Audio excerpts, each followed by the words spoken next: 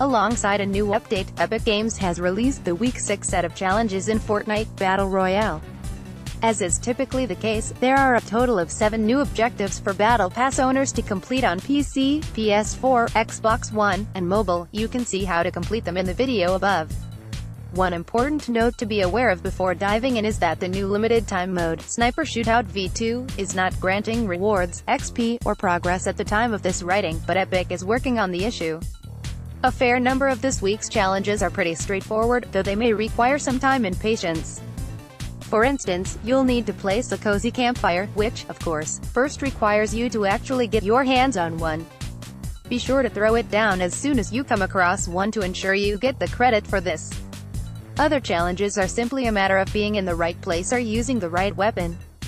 You'll need to deal damage with SMGs, open chests in Anarchy Acres, secure eliminations with explosive weapons, such as the new guided missile, and take out enemies in Retail Row.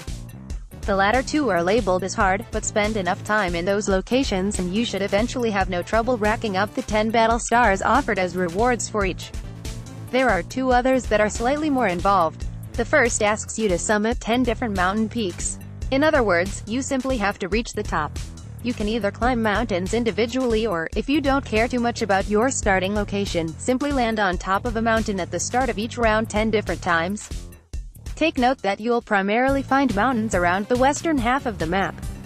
The other more complex challenge is a hard one that asks you to search between a metal bridge, three billboards, and a crashed bus. As with past objectives like this, it's simply a matter of tracking down the battle star icon that's hidden in between the stated objects.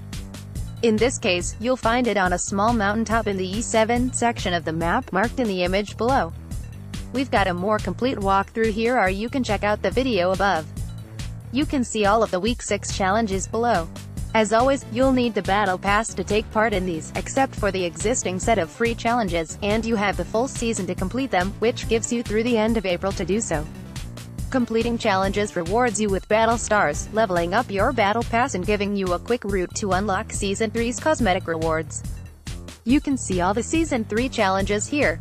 Fortnite Week 6 challenges deal damage with SMGs to opponents, 500, 5 battle stars search chests in Anarchy Acres, 7, 5 battle stars place of cozy campfire, 5 battle stars summit different mountains peaks, 10, 5 battle star shirt, search between a metal bridge, 3 billboards, and a crashed bus, 10 battle star shirt, explosive weapon eliminations, 3, 10 battle star shirt, eliminate opponents in retail row, 3, 10 battle stars got a news tip or want to contact us directly?